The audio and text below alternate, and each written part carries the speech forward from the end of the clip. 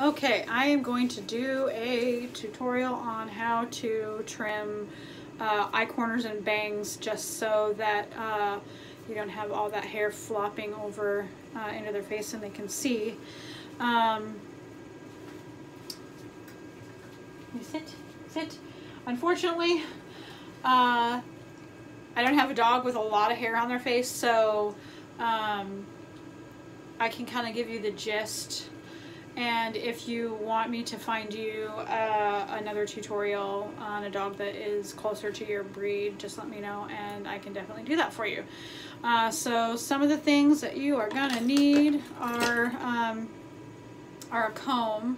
Uh, my comb has a tapered end which is really nice for uh, for brushing out this hair that kind of grows up in, in between their eyes but it's completely not necessary. You just need a comb and a pair of thinning shears.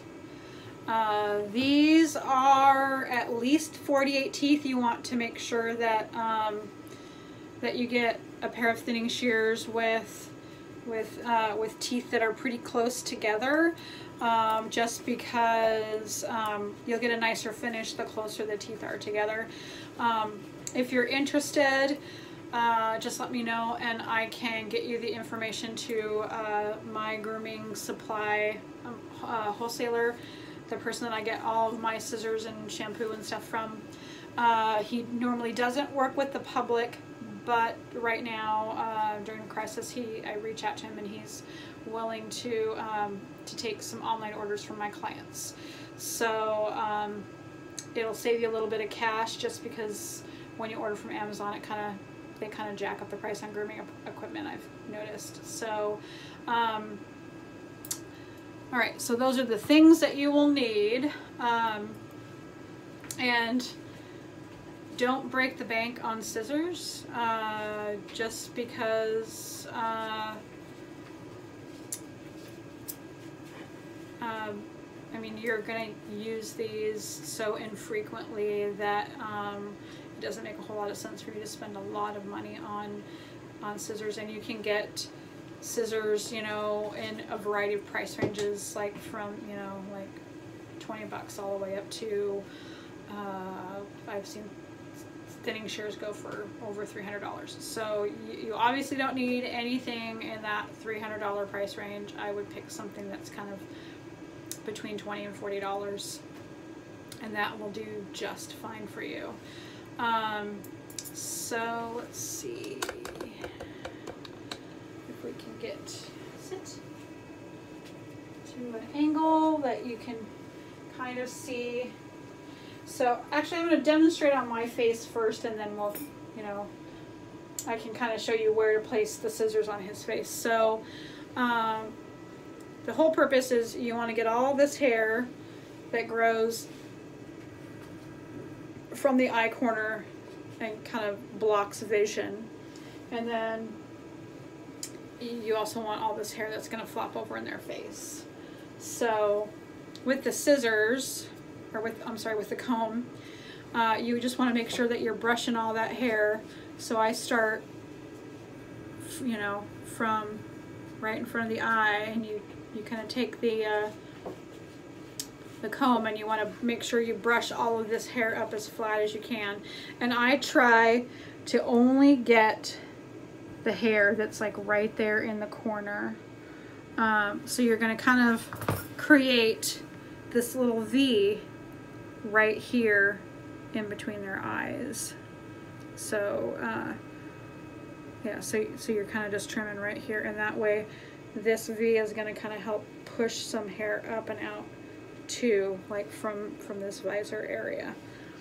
So you want to make sure you take the flat part of the blade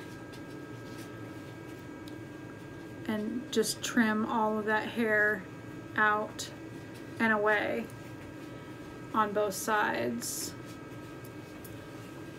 And then you take all this other hair and you brush it forward so it flops in their face like so um, and then so it's all brushed forward And basically what I do is I draw straight lines and then I soften those lines uh, to, to make a curve.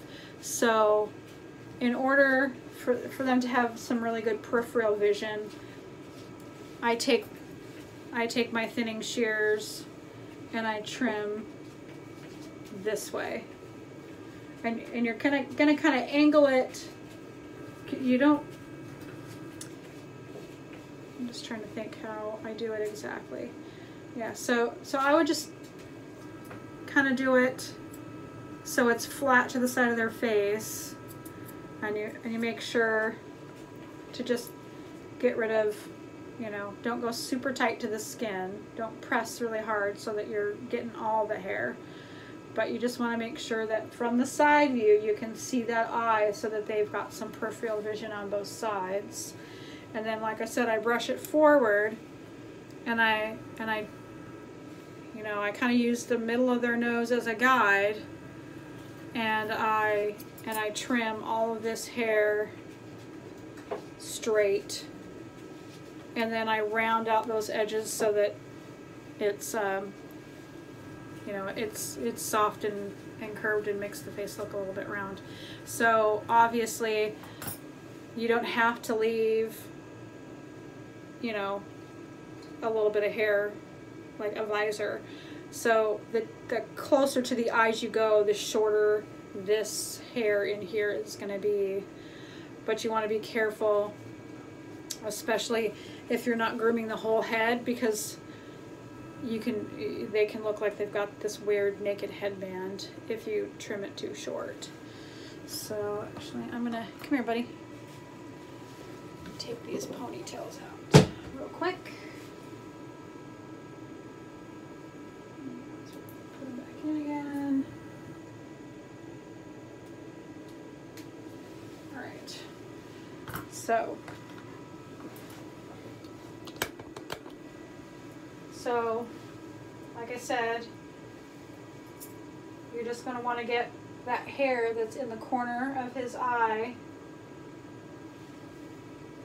on both sides.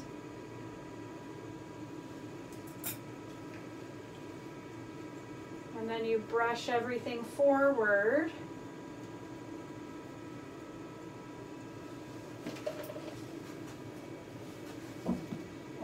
Make sure to flip the ear up and out of the way.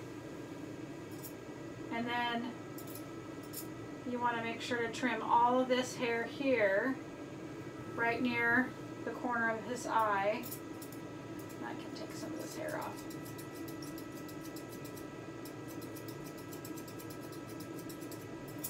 Just so you can see his eye out of the side, and you do that on both sides.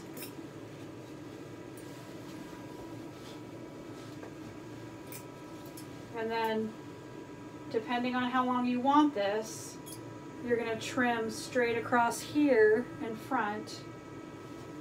And then, you know, you can keep going around to soften that line on both sides. And eventually, you know, you'll have, you'll be able to see the eyes. But the most important thing for them to see is this hair right here in the eye corners. Like if you can get that hair out, um, they're going to be able to see and the rest of it if you're not comfortable you can ponytail it up out of the way or um, you can uh, trim as little or as much of that hair uh, with the thinning shears as you want to uh, to give them some visibility. So if you have any other questions um, or you want that the information to my uh, my grooming supply person, uh, feel free to text me. I hope this helps.